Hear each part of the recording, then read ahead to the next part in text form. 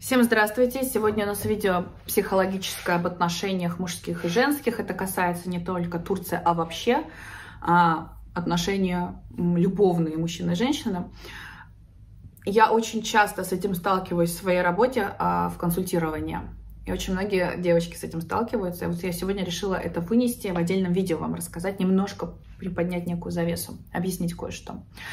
А, смотрите, если вы встречаетесь или вы знаете мужчину, который успешный, красивый, там, короче говоря, э, меняет девчонок, или он за стабильные какие-то отношения. Ну, в общем, такой гуляка парень в большей степени, да, и не только, может быть, он спокойный, но знающий себе цену. Короче говоря, он вступает в отношения, там, до полугода могут быть отношения, не дольше, как правило, один, два, три месяца. И на самом деле он с отношений сливается. Или у него, если спросишь, он всегда говорит, а, она, у нее была какая-то причина. То есть во всех девушках у него есть причины, и реально ты послушаешь, что причины достойные расстаться. Этот, я не знаю, там, а, плохо отзывался моей маме, а вот это то-то делала, а вот эта девушка, например, не хотела развиваться, работать, э, в плане том, что ну, не очень достойная партия была, она во мне только деньги видела. Я к тому, что это такой довольно-таки состоятельный, приятный, симпатичный, обходительный джентльмен, очень халасный парень, но он, блин, никогда не вступает в долгие отношения, хотя, может быть, сердечно говорит, что он сильно хочет семью,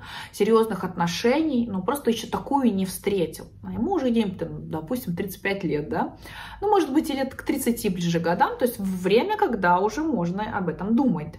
Если мы берем другие страны европейские, то 35-40 где-то лет, но до сих пор он один. Но он прям сказочный призм, все в нем классно. Думаешь, блин, он такой классный, я хотела с ним встречаться, я же та самая, скажем так, которая могла бы быть твоей избранницей, давай попробуем, да, вот он, допустим, вы встречаетесь, вступаете в отношения и чувствуете в отношениях своих такой идеальный классный парень, перспективный, вот такое слово назовем, он находит какие-то, у нас постоянные притирки, он меня очень часто во многом винит. Это я виновата, это я где-то плохая.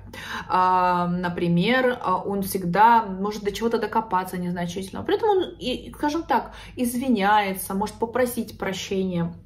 Но получается так, что я какая-то где-то плохая, а он до сих пор идеальный, такой же идеальный и классный, как я его видела в начале отношений, да, каким он мне понравился. Или еще можно как сказать, что он идеальный, классный, но сомнения только во мне. И я начинаю сама верить, что проблема во мне. Это я где-то не соответствую ему, я где-то реально себя не очень хорошо веду, я где-то провоцирую конфликты. В общем, виноват не он. Так вот, вот когда вы такое в отношениях чувствуете, или с похожей сложившейся ситуацией, я вам могу точно сказать, ребятушки, девочки мои дорогие, проблема в парне, не в вас.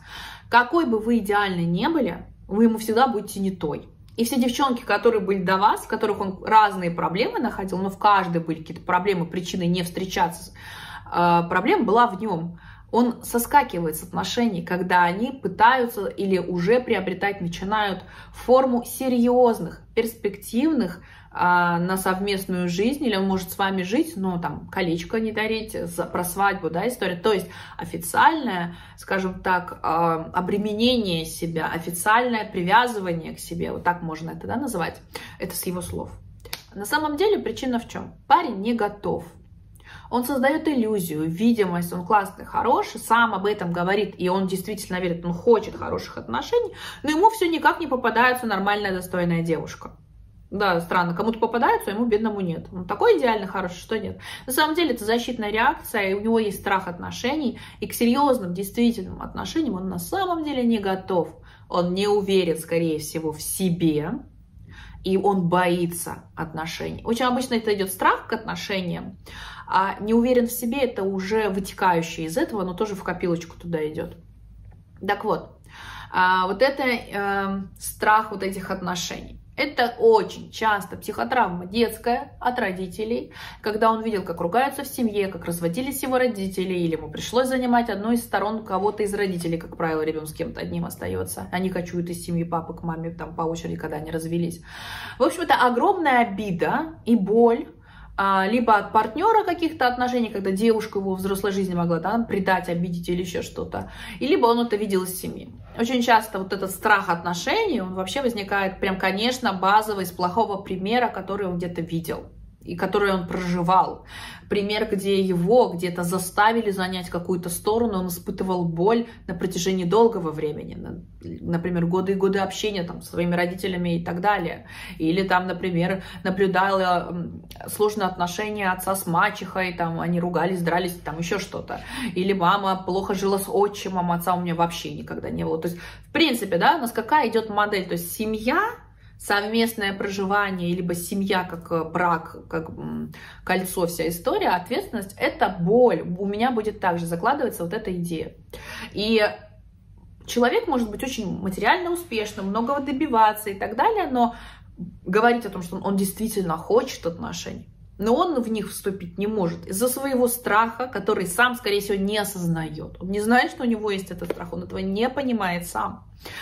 И вот такое, знаете, получается у нас, если ты попадаешь в такие отношения с парнем, если ты а, скажем, себя любишь, уважаешь, девчонки некоторых, ну, хватит на несколько месяцев, и девчонка поймешь, э, которая настроена на серьезные отношения, поймет, что чувак не соответствует, я вижу, что действия от него нет, а, ну, отношения, и девушка такая уходит. Есть кто остаются, задерживаются в таких непонятных отношений с такими чувствами, советую дать всегда себе срок.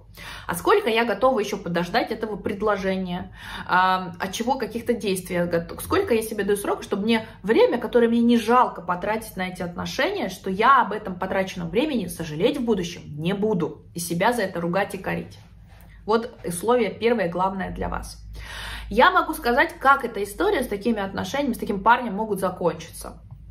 Если вы будете... Он, а, такие люди очень часто отталкивают, отодвигают, а, делают проблемы, тебя обвиняют. То есть пытаются на самом деле а, под благим намерением, предлогом разрушить отношения. И если это проблема с доверием у него, это тоже там всегда базовая вот нелюбовь к себе, неуверенность в себе, проблемы с доверием, сближением с людьми, то он пытается, такой мужчина, отодвинуть от себя максимально, проверить тебя. А предашь ты его, если вопрос с предательством, травма, да, у него была, откажешься ты от него или нет. Если девушка происходит, проходит условно все эти испытания, и это еще, кстати, не залог того, что все увенчается свадьбу, он примет, и в нем пройдет этот перелом, он поверит вам, доверится и вступит с вами в серьезные настоящие отношения, или там в брак, например, да, как результат мы берем брак. А, не факт, что это произойдет, он, скорее всего, может даже остаться в своем страхе. То есть можно быть даже идеальной, ждать. Э, не, я не говорю про подстилаться, все терпеть, не про это, девочки. Мы делаем только то, что нам хочется. Ну, на какие там условно жертвы готовы выйти? Вообще хотите быть жертвой? Вот в чем вопрос, да? К вам эта история. Я про него сейчас говорю. А, очень часто люди действительно боятся этих перемен, остаются со своим страхом, то есть определенное отношениями, терапия происходит, да? То есть я ему даю почувствовать, что скажем, он нужен, что я его не предам. И это происходит, к сожалению, через некоторые вот эти препоны, его отталкивания, мелкие ссоры, конфликты, отторжения.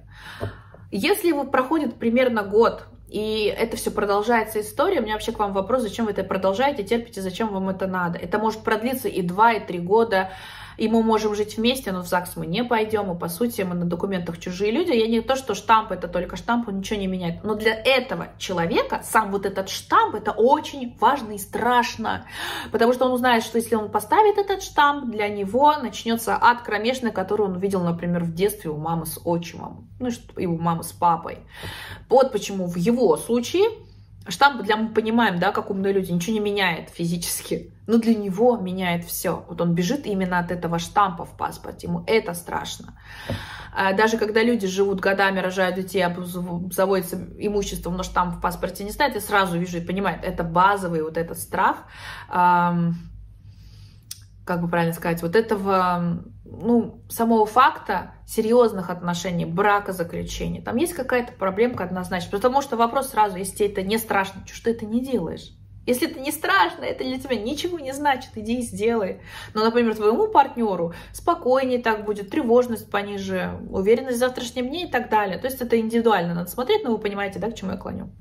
Так вот, девочки, если вы в такие отношения попадаете, знаете, да, может что-то выгореть, я на это даю примерно год. Если за год не поменяется и будет на таком же уровне, я не говорю, что это не закончится хорошо, есть риск того, что это очень надолго зависнет. Вот подумайте, а вам надо вот свое лучшее время вот на это тратить? Да, да, нет, нет. Правильно, выводы делаете сами. Можете ставить вопрос с ребром. Тут уже э, он согласится или нет, это не то, что вы додавили, заставили на себя жениться. Просто человек будет понимать, он готов вас потерять, он то есть вот делает выбор между своим страхом и остаться в зоне комфорта, под своим страхом дальше существовать. Или ему больно, не хочется вас терять, он выбирает вас и пытается, скажем так, бороться, побороть свой страх и быть с вами. То есть развиваться это все равно хоть какое-то развитие, правильно? Что-то менять надо. Если человек трус, не готов, э, то в плане трус, то, что он сильно боится, его страх слишком велик, он не готов что-то менять, а хочет оставить как есть, он выберет не вас.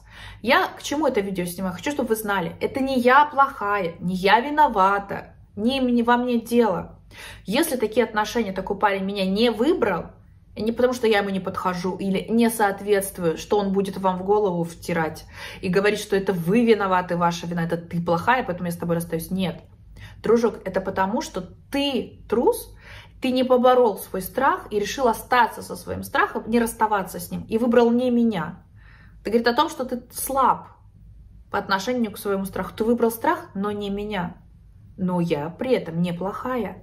И я вправе найти другого человека, который меня будет любить и ценить, которому я подойду. К человеку, у которого не будет страха, или он окажется сильнее своего страха. Кто думает что-то по этому поводу, пишите комментарии, сталкивались ли вы с такими отношениями, пожалуйста, расскажите. Если считаете, что видео полезное, интересное, ставьте лайк, подписывайтесь, пишите комментарии, распространяйте эти видео. Если вам нужна моя помощь как психолога, пишите на почту в инфобоксе я отвечу вам по поводу индивидуального консультирования в скайпе. Если у вас есть история от анонима разобрать на канале, пишите также на почту с пометкой «История от анонима» в теме письма. Спасибо за внимание, всем пока!